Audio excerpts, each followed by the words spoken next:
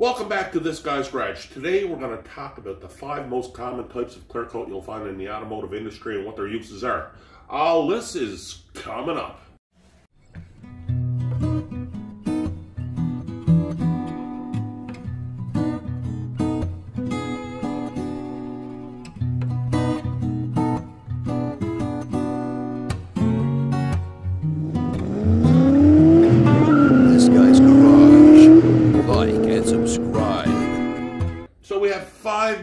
Of clear coat. The first two are going to be, they're kind of tied at the hip. Your production, your regular production clear coat, like we have here, it's a,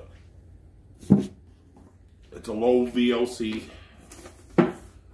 It's a low VOC clear coat. It'll give you an end of the gun finish. Without buffing or polishing, it will look good right out of the gun.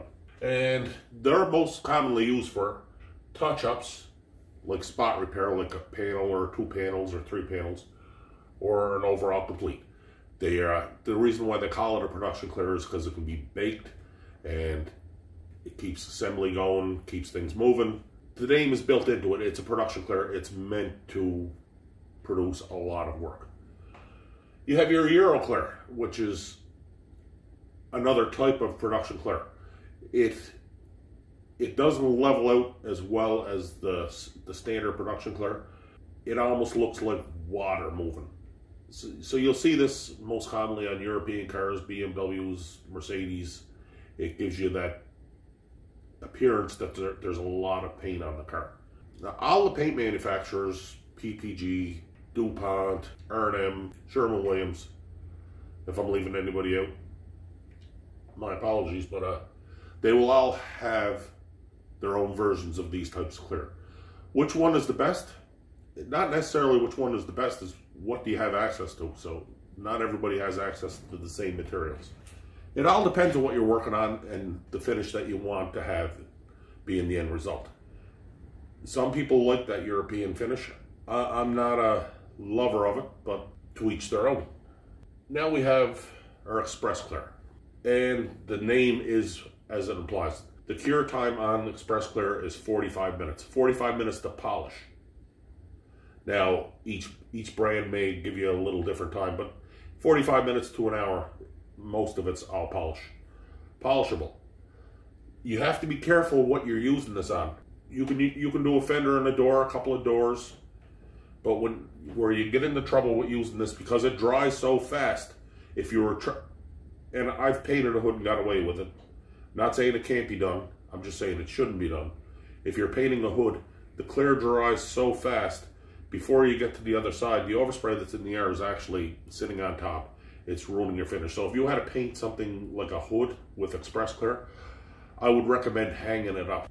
But Express Clear is, as the name implies, it just, it, it's fast. It's really fast. It cures super fast.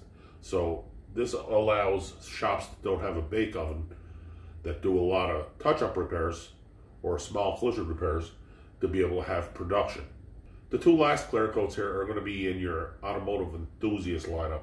You have a flat clear, and that there is all it's all it's really designed for is well, if you like a flat finish, it will give you a flat finish. But the main use that it's seen in the automotive industry today is to maintain patina.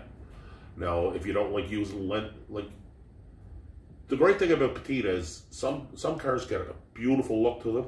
It took 50, 60, 70, 80 years sometimes to get that look. And you like the way it looks. You just don't want it to get any worse. So it's a layer of protection. Protection. That's why they put a, a clear over the whole whole vehicle. And it gives a pretty cool look. So last in the five is your glamour clear. As the name implies, it's going to give you a glamour finish, but it's not out of the gun glamour finish. Glamour clear coats are designed to be put in multiple multiple coats, sometimes four or five coats. Then the whole vehicle is sanded in stages, so you start at 1,000, 2,000, 3,000, 4,000. You work your way up, and it gives uh, it gives you a completely flat finish to be able to polish back up, and it will look like it was dipped. But it's not an out of the gun finish. If you want a good out of the gun finish, you cannot go wrong with a good production clear. It will probably yield you the best results out of the gun.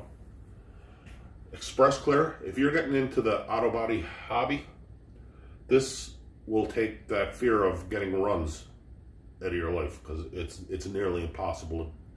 Not it's not impossible to get runs, but it's nearly impossible to get runs. It dries so fast, it snaps over so fast that you you will not get runs with it. You you can get a run with it. Don't get me wrong, but it's hard to get a run with it. Hopefully that told you everything that you needed to know about the five main clear coats in the automotive industry. If you have any questions, put them in the comment section down below. If you think there's anything that I missed that I should have included in the list, let me know.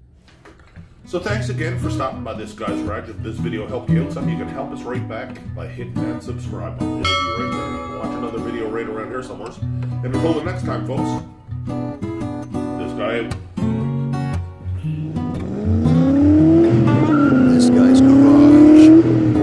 And subscribe.